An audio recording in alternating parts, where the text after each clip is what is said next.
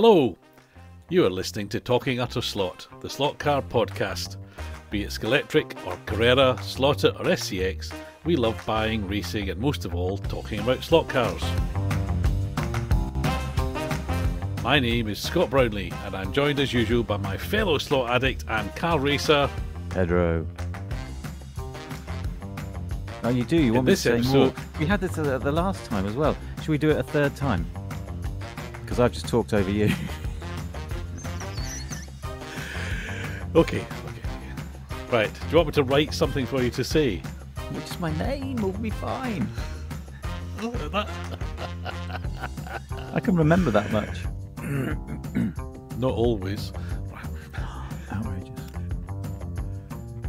Hello, you're listening to Talking Utter Slot, the slot car podcast.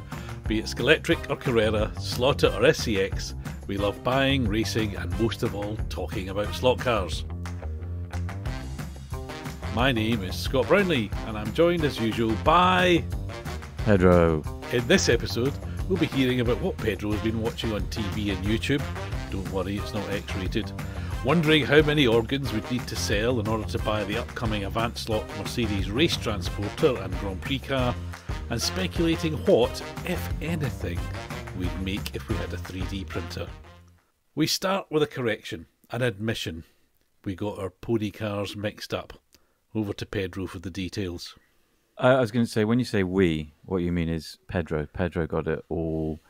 Uh, there's a phrase for that, but I'm not sure. Are we a family friendly podcast? I think we are, so I won't say arse about face. Um, no.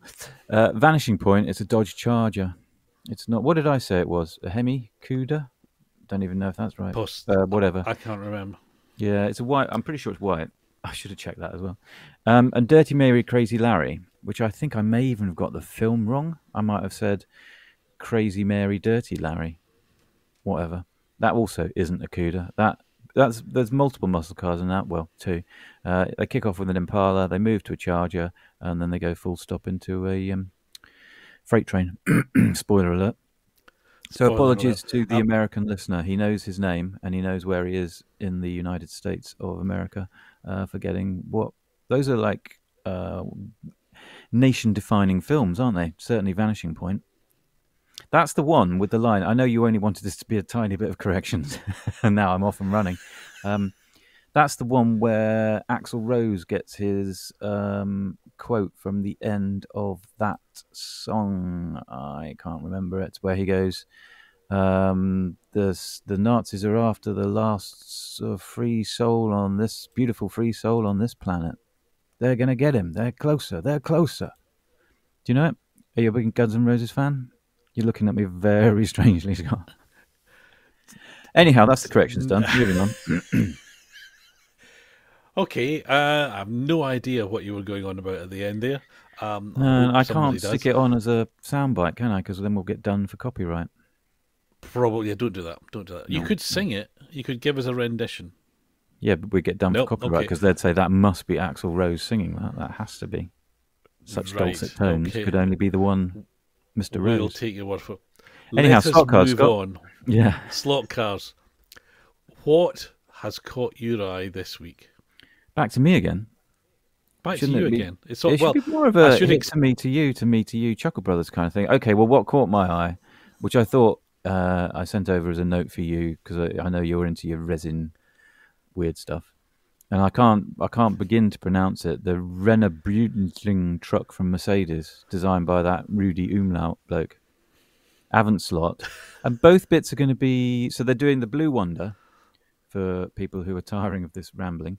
They're doing the Mercedes Benz Blue uh, Blue Wonder Transporter, which was designed and built to carry a 196, I think. Yep, yep. Yep, a the 196 So- uh-huh. Mercedes race car. And Avant Slot are going to do it, and I believe both bits are going to be slotified, so you can run your Renner Lung truck, uh, and you can run your W196. So that's super cool, but going to be super expensive. I think we should just clarify that, given that this is sort of radio and paint paper. So these are ni- 1950s real vehicles. So the race transporter, to translate it from the German, which was a very cab forward sort of pickup truck, flatbed uh, lorry, if you like, onto which the the Mercedes Grand Prix team would load one Grand Prix car and then drive it to the circuits. But I think, uh, from memory, I'm testing here, I think it had a Grand Prix engine itself, as in the same engine as the car it was carrying. Or something No, was that done for spares? Just in case they And could do That can't be well. right. It, it could do, I think, hundred. But again, I'm, this is from memory. It could do something ridiculous, hundred miles an hour or something. It was very fast. Now, whether whether it was scary as hell because the driver was sitting right at the front, and I think the front wheels were behind him, and you know, anyway, it was it was designed to be very fast. But it looks wonderful. It looks like a proper um, Flash Gordon set dressing thing. It's all curvy and and and I wouldn't say steampunk, but it's sort of that. And I have, fortunately, I have a die cast, a 143rd die cast of it, uh, so I can probably resist uh, buying a slot car version. Um, but it will be very tempting because it's a very lovely thing, and I think, it, but it'll be they're talking limited production, so it's you know it's going to be So what, how much- 200. Well, They, they did Well, that the tran- uh, trains, the uh, and that was two hundred quid, was- wasn't it? Was 200 two quid. So I'm going to say, well, I'm going to say, given that it's the transporter plus the car, I'm going to say Oh, 300 quid. I think two nine nine ninety nine, under three hundred quid, uh, would be my pitch. If we're right, does one of us get one? I, you thought that had you written all over it. I thought you'd go for one of those because you're you constantly reference Hobby Classic and people like that. In the past, when I was gainfully employed and had more money than I knew what to do with, I would have done. But n- not now, I don't think. If you, if I Hmm. tell you I've got one, it means I've won the lottery. Oh, and that means the end of the podcast and the last we see of you. No, no, no, no, no. Just uh, Bye, it'd folks, daily to new house in A lit- a lit- yeah, I- uh, we could go travelling. We could take talking at a slot on the road. oh, I see. You mean a like a Radio 1 4 roadshow? series. I see a Channel Four series. I what do they call the Radio Join 1 us. Roadshow? Oh, the Radio 1 Roadshow. that's a that's a call. That's called a callback to the listener in America who doesn't understand uh, what I'm talking about there, um, because I think I referenced that in episode mm, three. We probably ought to stop numbering them because it's going to start to get difficult, isn't it? The um. Anyway, so yes, the Avant slot. I think it's great. Slot. I think it's great. Anybody makes these sort of things actually, uh, and it's an interesting. Uh, I think one of the words I should stop saying. It says something about the current slot car market. You know, here we are in a recession, a global recession. There's a war on. Nobody can afford to turn the heating on. All that good stuff and yet we seem to be getting more expensive slot cars than ever before. So people like Le Mans Miniatures, Avant Slot making these things, uh, the Velosaur gorgeousnesses, the Bugattis, um, you know, the general kind of prices of stuff. But this kind of high end, limited production, very detailed thing, just simply, well, did it exist 20 years ago? If it did, it was very rare. And you, and No, I, I would say nice. the So- market the, the market has matured. I'll be proven wrong, obviously, but I would say the market has matured, possibly even fractured a little bit. And you've got these specialist peeps. Um, did you say the what's the name of the the people who did the Bugatti thing? Vel Vel Velar? No, it's Velis, Vel- Velosaur. Velosaur. Velosaur. You've got them. You've got this Avant slot. Um, they've done a couple of expensive ones recently. It's um, I think the market has matured, and there are, there are people. It's like, rather like a lot of Formula One advertising and stuff. They get a lot of Rolex adverts as well, don't they? Because it's there are people with money. There's fewer. No, are there fewer? I don't know. There, there's there's plenty of people with money. Okay. Rolexes and models of the Rin Rin Dringling truck. I think that truck is an extraordinary piece of engineering, really, isn't it? Didn't they use a lot of parts from the kind of production line? So, uh, like you say, the engine mm, is just standard issue, or, or I'm not sure it's standard issue race car engine, but um, and I thought a lot of the components, like maybe the windscreen and stuff, they're just standard, ripped off the production line, stuck on a truck that looks mad. It looks very Jetsons. And I just had a little look at a picture while uh, you were talking, and um, the the whole cab is forward of the front wheels. That is a Hmm. truly cab forward design. Yeah, yeah. It's uh, well, there's a little. It's a kind of proto Gerry Anderson. It is, isn't it? It looks about it, isn't it? Yeah. Very Captain Scarlet, something about it. or or Jetsons even. Anyhow, what el- what caught your eye, Scott? Has anything caught your eye? I, well, I have to be honest and say not much because I was on holiday. Oh, yeah, you were I off in didn't Ireland. Do much. Uh, I didn't do much slot car. I didn't find any slot car shops in Ireland. I wasn't looking, to be fair. Uh, I didn't find any, uh, and so found a lot of pubs, but that's an entirely different story. Uh, the um, I think the uh, not really much has caught my eye in terms of news, to be honest. So I'm, I'm that, that's why this is really the Pedro show. This one it's going to be back back to you.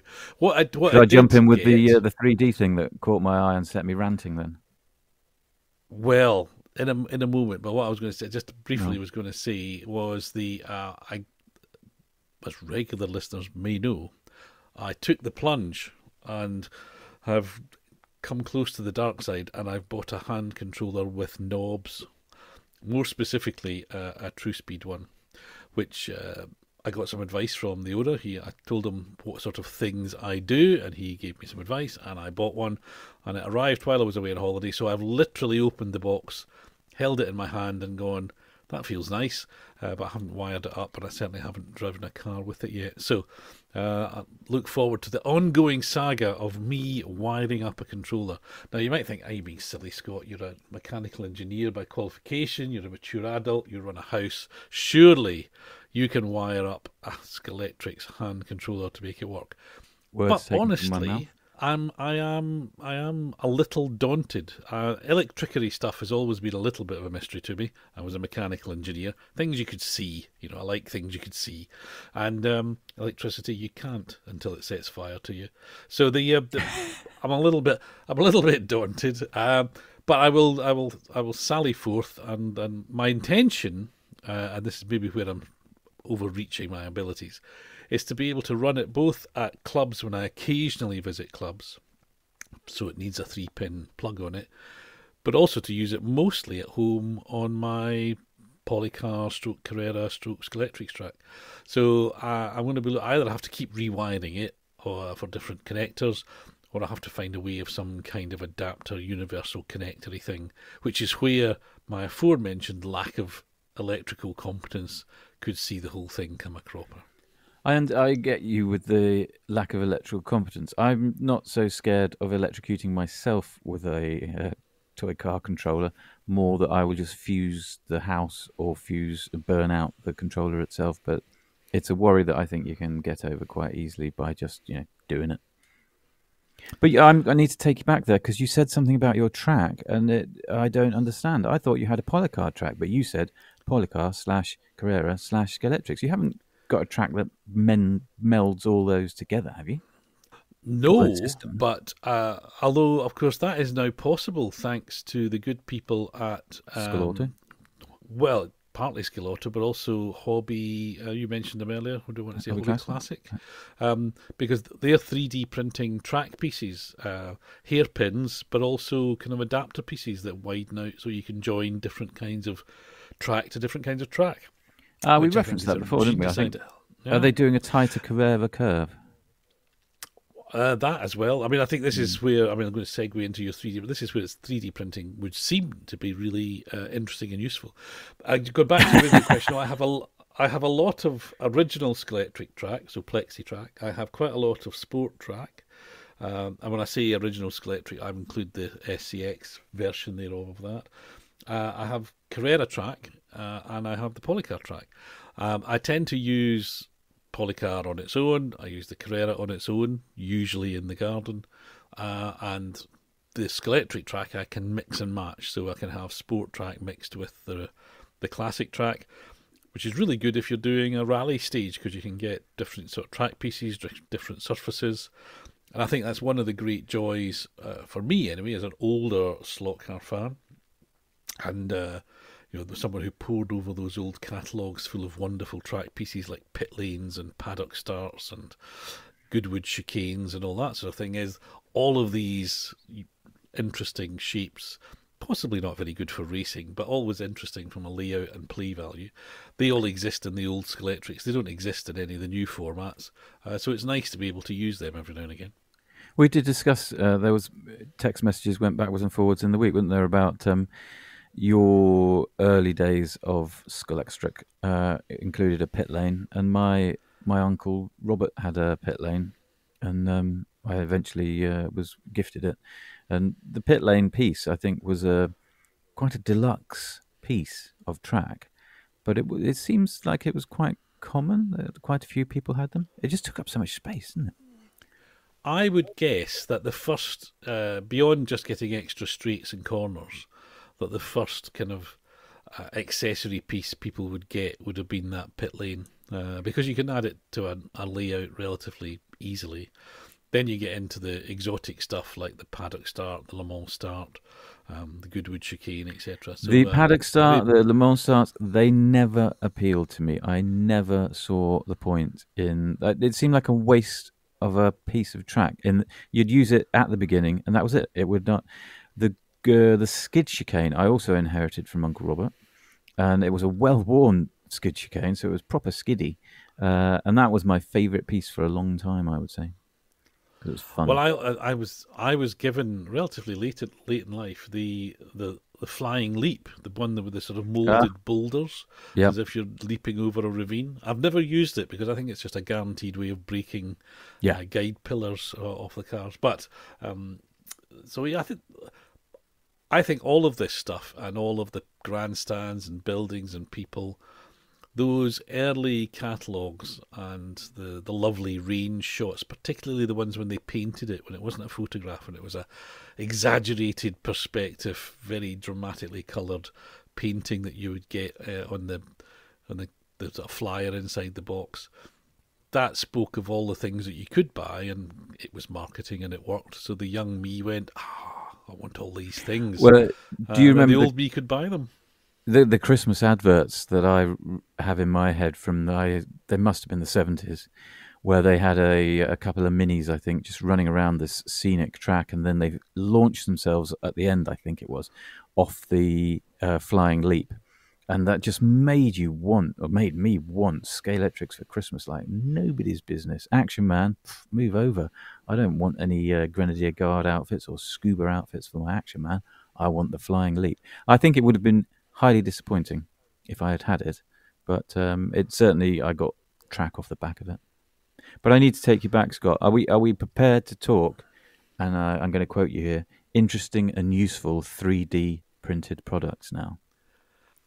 We are. We are. I'm we sitting are. down, and the okay. and the listeners have had a chance to kind of you know draw breath and. So uh, in our show, should we, notes, should we issue should should we should we as is the fashion these should we issue a trigger warning in case any listeners are upset about what you're about to say about three? Yeah, and there's counselling available, and I'll be availing myself of it.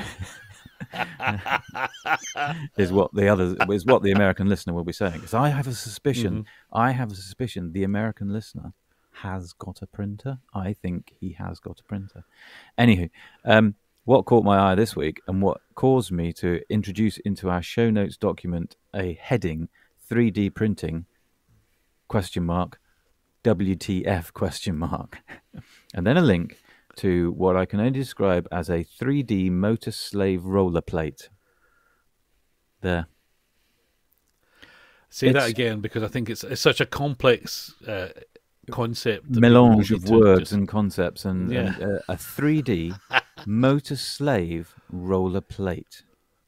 Now you can buy the and basic 3D motor break slave. That, break that, plate. break that down for us. Break that down for us. What are we? What what is one of those things? Well, it's, a, it's, a little, a... it's a little tray of 3D printed acetate resin, whatever the hell it is.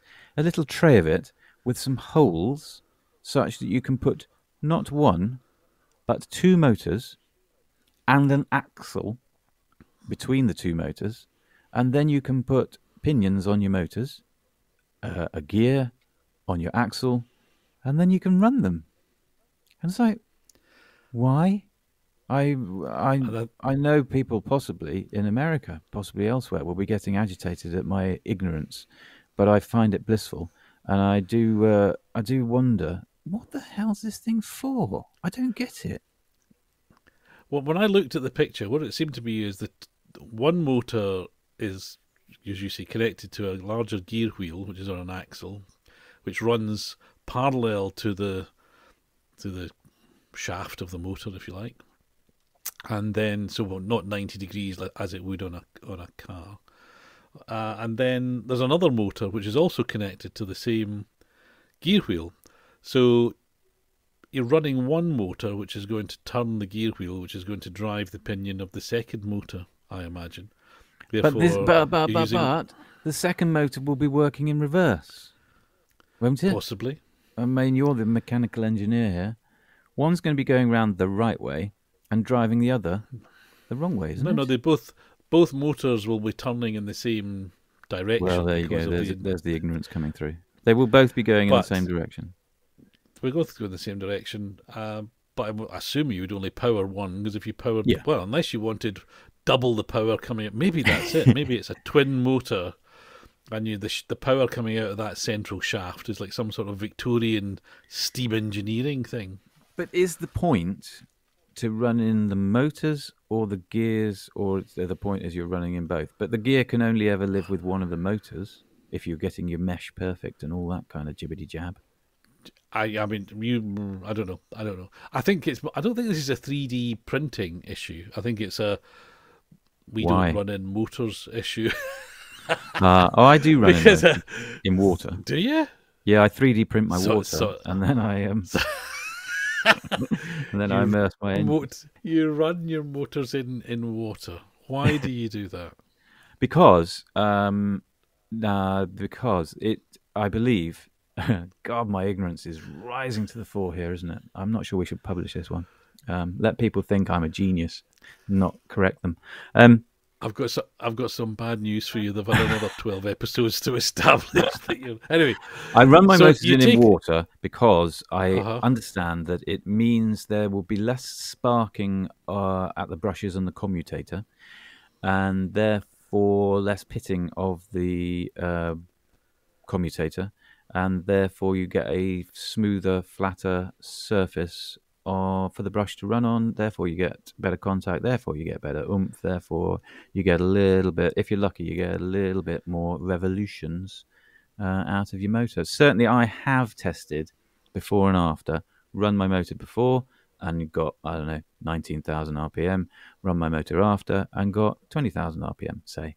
Um, it's that sort of scale of difference. So I do it. I believe I shortened the life of my motors. And I went through a whole spate. I'm not sure whether it was my um, perverse practices with my motors. Um, another accent for you there. Um, I, I strongly very good, suspect it's there was very also- good Dutch, I think. Yeah, It was pretty good. Uh, that wasn't Dutch. That was um, that was Spanish. sounded it. Um, I believe I'm going to put it out there, and I we don't have a solicitor. So Maurizio, if you do listen, two questions: one, why, and three, please don't sue. But I think Slot-It had a Duff batch a while back, uh, and I had most of them because I burnt out several Mabuchi can Slot-It motors. Um, and the only the, the commonality was one, I'd put them in water to run them in. Two, they were Slot-It motors. So But just since then, my Slot-It motors have been fine, and I have continued to put them underwater.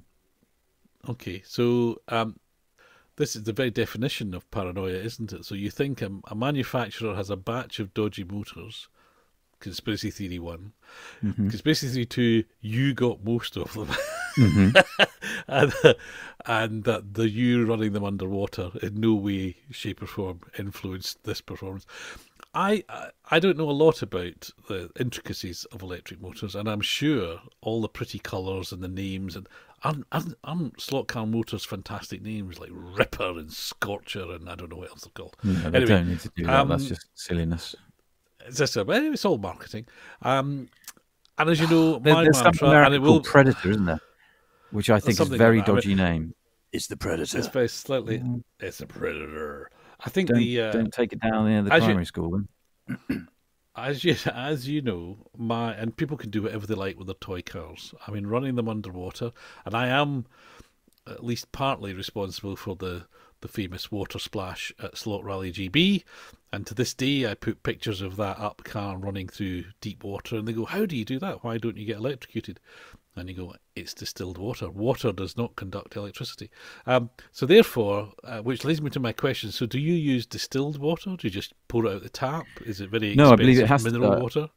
I, I don't know. Um, Champagne, champagne. Run your motors in on champagne.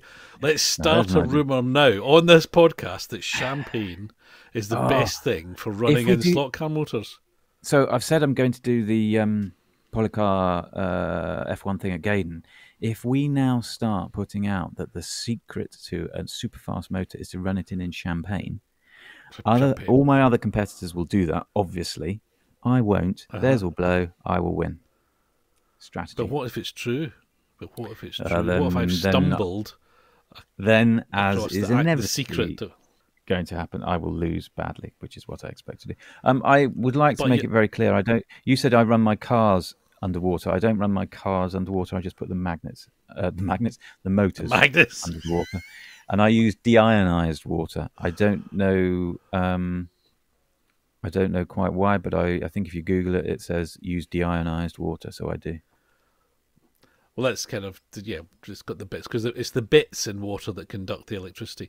When we did Slot Rally GB and the thing ran for the whole day, and um, sorry, I'm hearing a voice, and it's the Alexa is talking to me, which is surprising because it's not because it's not connected to anything. Anyway, um, when we did run the Slot Rally GB and the Water Splash, and it ran the whole day.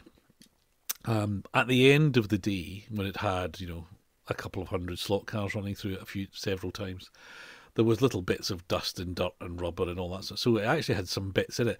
And if you put your fingers in the water, it did give you a bit of a kick. Um, so it was uh, Really? it did it did prove it did prove the theory, yeah. But it's uh, it's- but it was great. But yeah, champagne. Look, if you lose, at least you'll have a lot of slightly flat champagne to drown your sorrows in. But the problem is, I don't like champagne. He said, yawning. Sorry. Um, Don't I really like don't like champagne? champagne. Wow. I know people believe I have a champagne lifestyle, but I don't like the stuff. It's got to be Babycham for me. Anyway, as I was about to say, you, uh, anybody anybody looking to me particularly for tuning tips has to remember that my mantra, soon to be available on uh, the hoodie and coffee cup merchandise from the Talking Utter Merch. shop, Don't call it merchandise. It's merch. merch, merch is the you know if you want to go faster, turn up the voltage. Anyway, moving swiftly on from your 3D print, did we? Did we? Well, uh, one of the things we said was, what would we make if you had a 3D printer? What would you print? And it's got to be slot related before you get too carried away. Well, uh, you broke up a bit for me there. It's got to be what before I get paranoid? Slot car related, so you can't Oh. print money or or something. Well, I did say, or, or jokingly, anything I don't 3D print my water. Perhaps I should 3D print my water. I so you mentioned this. I honestly don't. Other than I flippantly said a bottle opener, um, for no real reason. It's the first thing that came to my mind. Um, back on champagne and booze again. Um, this morning I looked at slotforum.com. Other forums are available, but that's the best one. Um, and someone has 3D printed a chassis for a Scaleauto and uh, and put it up there and said, "Oh, it's your friend Johnny. Johnny, shout out to Johnny down in Worthing. Uh, I believe he listens. I p- hope he listens. Um, he's 3D printed a chassis for You- some school used to Scaleauto listen or anyway. other. He used to up until this point. Uh, and somebody said, "But why have you done that?" And then somebody else said, "But your printer, you need to." Turn your printer 90 degrees or something because it's printing. It's going to make for a weak chassis. This person says, um, oh, it was that. It was that Gary Skip, I think his name is at LMP. Shout out to at Gary Skip. Um, you have to turn your printer in a certain way, otherwise it prints uh, all wrong and it'll be weak. So if I'm going to 3D print a bottle opener, I've got to get that angled right. And then, and Gary went on to say you, it's best at sort of like 45 degrees. I think bloody hell, this is a complicated scientific process, isn't it? Which rules me out completely. What would you 3D print? Uh, well, before I go on, to- I was going to say, I, I guess these things have got a grain, if that's the case, isn't it? So if you're having to take into account the way, the angle at which the printer is layering up, uh, it makes sense they've got a, got some sort of grain, so they may be stronger in some directions than others, or more flexible in some directions. It's not a, it's not like a cast piece of material. No offense to Johnny, but um, I looked at his, I zoomed in on his 3D chassis, and I, because I, I am slightly curious about the whole process, and I looked at it, and it was as grainy as feck, and I just thought, Wow. But I mean, if it's the underpinnings, that's not a problem. But if you're going to try and make a body out of it, then you're going to be sanding away for a long time, my friend. But we still haven't heard what you're going to 3D print, Yeah. have we? Or did I talk over you? You'd never do that. I think I the. I think the answer is I, I don't know because it's not it's not something I would um, I don't think I'd ever.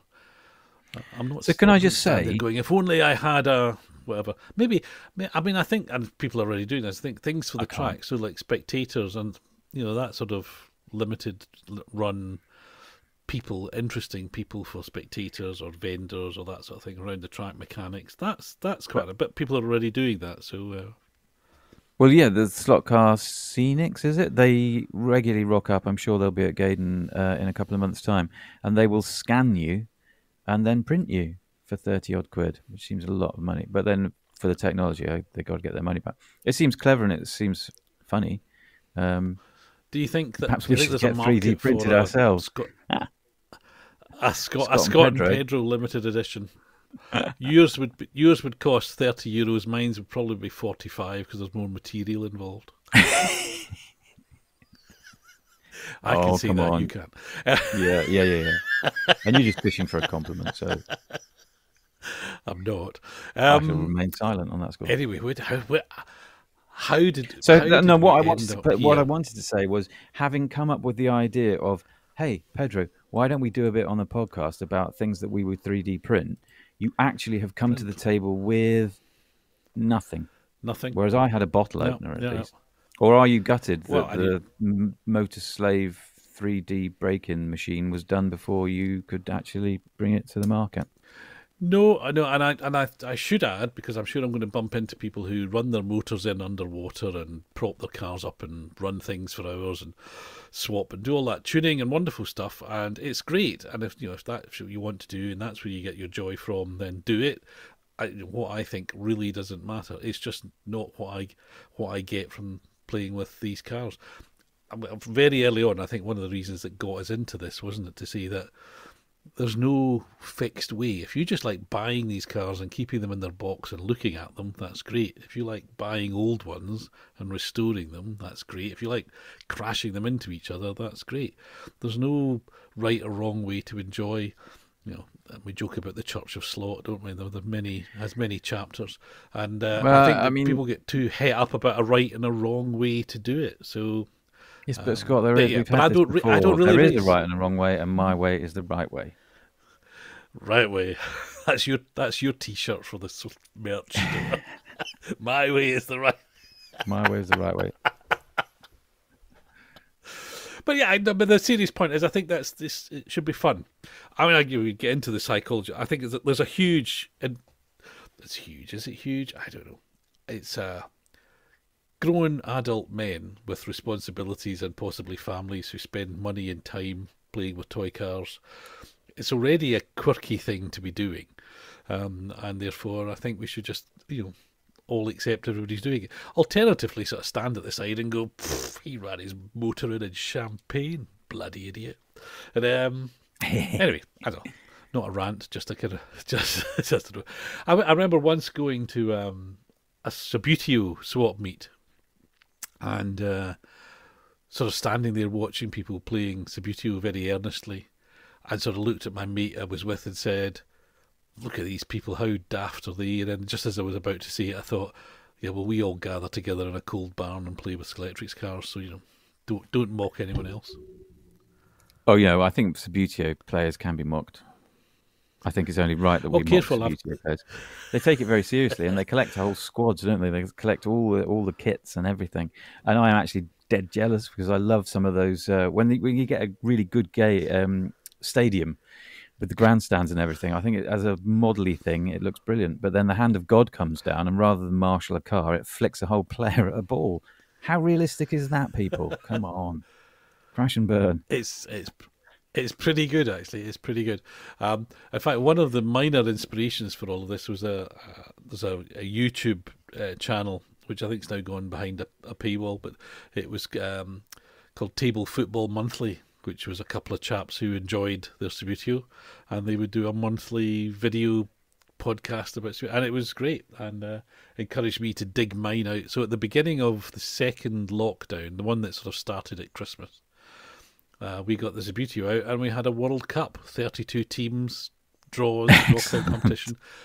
I I thought it would keep us occupied for a couple of weeks. We didn't finish until Easter. wow! I thought you were going to say I thought it'd keep us going for a couple of weeks. It lasted a day before we started shouting at one another.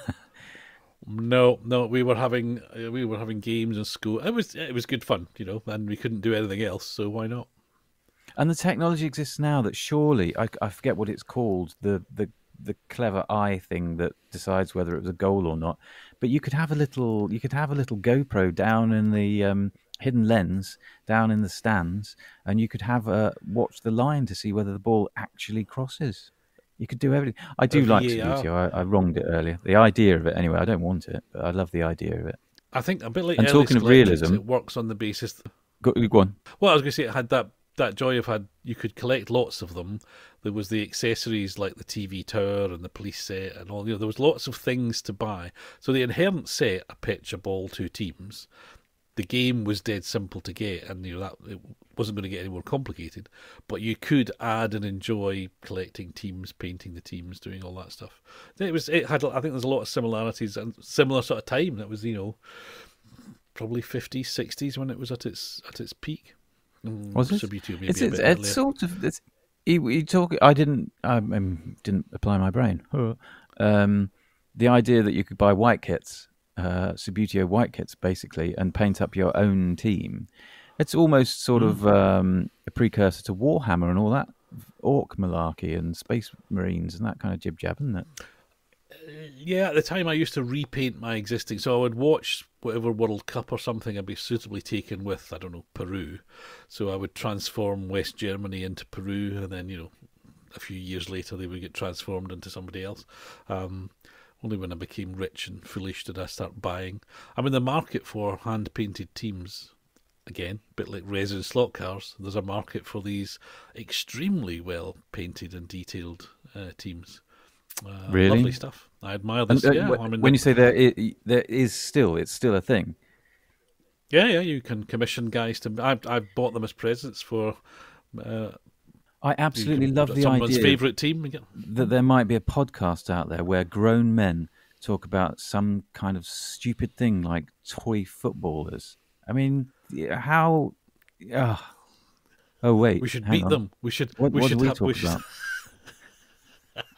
You were talking about realism. We should I get together. That, I sent you that link to. I've.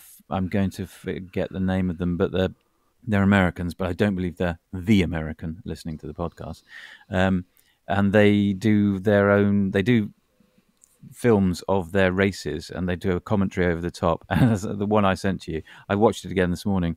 I accused the guy of vaping heavily into one of the corners to just put a cloud of fog there, but I don't think it was vape um, looking at the video. But they, they start their race, and um, the commentator says, and they're off into the early morning fog there, and it's it's quite amusing. I'll try and find the link and put it somewhere. I don't know uh, if it ever gets to YouTube. This uh, podcast of ours, but um, I thought that was quite sweet, and the realism is quite amusing. If if it is realism, again, I mean, it's uh, more like a scene from that film, The Fog. Yeah, it's it's that wonderful thing. in It's piece of plastic with an electric motor running on a track with a groove in it. You know, there's not much that's realistic about it, but uh, yeah. it does give us a lot of pleasure and a lot of fun. And you see some people's tracks, lovely routed track that maybe they just for racing or they've done lots of landscaping and scenery, and you know. Ah, but there's a there's a Godfather with your mates, then great. There's a Godfather of the routed track um, over in the states, isn't there? I've forgotten his name, but he had a website and he inspired a whole raft of people to do some pretty fantastic routed wood um, tracks. I'm gonna, oh, I can't remember his name. I want to say Luff, but I don't think that's his name. Um, it's interesting though, isn't it? It's, it's grown men. They get to a certain age, and all they want to do is take their toys to another level, toys of their youth to another level. I think that tells us well, a lot about you tu- male. You touch. Com- we're coming to an end. A one for the future. We very, regular listeners will remember that very early on we had a letter. Uh, it wasn't a letter; it was an email. But anyway, we had a letter, uh, and it was from someone who works at one of the slot car companies who are going to protect. Oh yes, it uh, was. We've, deserve to we've completely forgotten about him. And uh, no, no uh, communication. And uh, most recent communication was an interesting point that, and I'm I'm summarising for brevity. We, uh, but whether us in general or the kind of blokes our age, talk about old cars quite a lot. We like old stuff, perhaps more than others. And what would the slot car business have been? So when we started in the 60s or 70s, if the only cars that had been available were 30, 40, 50 years old, would we have been interested in it?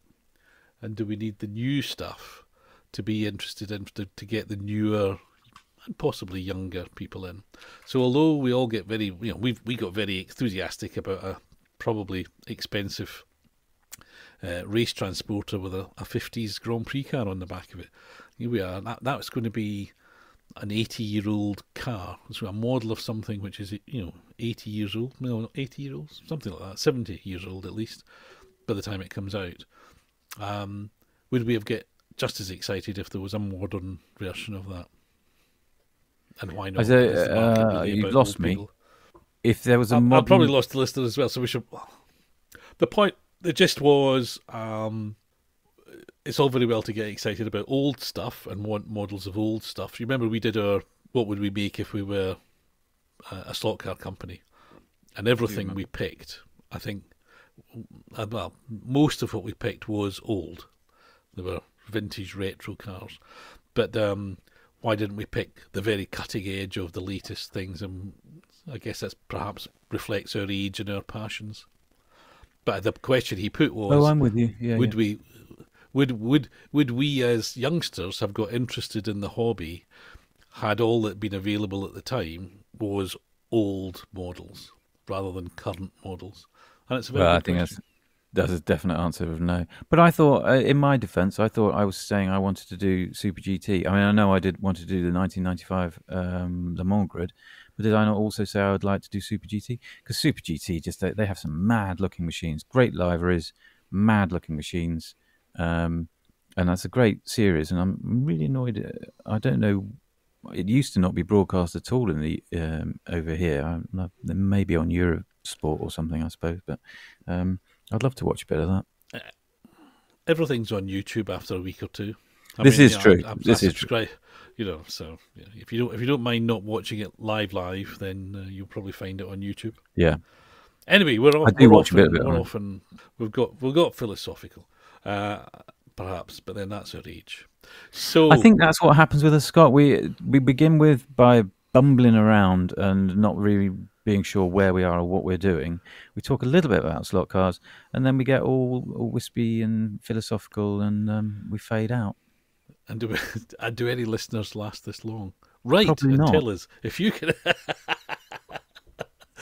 we really should shape it better than this. Hmm. Anyway, I'm going to say that's probably enough of the wistful meanderings of two middle-aged men with nothing better to do, otherwise known as Talking Utter Slot, the Slot Car Podcast. Pedro, you were going to say something. No, I was only going to say goodbye once you'd finished. Did you But say goodbye? Stopped prattling. Not yet. Not yet. I'll say goodbye. No. And I'll say goodbye. See you guys soon. Bye. Cheerio, Scott.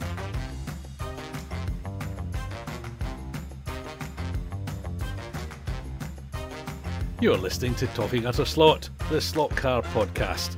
Be it Carrera or Select Scalextric, Selectrix. I've got that wrong. Keep going. Carrera or Scalextric, Slot It or SCX. We love buying, racing, and most of all, talking about slot cars. My name is Scott Brownlee, and I'm joined as usual by my fellow slot addict and car racer. He doesn't like to be called a collector. It's Pedro. Hello, everyone. Oh, you It- wanted me to say more. I apologise. Damn it. it's okay. We're on fire from the get go. Rather like with episode 14, we're on the fire. We're on the fire. We should be on. Oof. Okay. Why don't I let you take over? This is episode 14. Is it? I thought it was 15. we have. Uh, we genuinely. Uh, it's two old men who don't know where they are, don't know what they're doing, do- but are recording Let's- it for posterity and sharing it with the world. let's let's I, I know you like putting but let's start again this is this is gone way so far off piece it's gone You just much. know that's Right. going in the outtakes at the end. at the end I don't we're fine but let's let's start again. Ready? Yeah.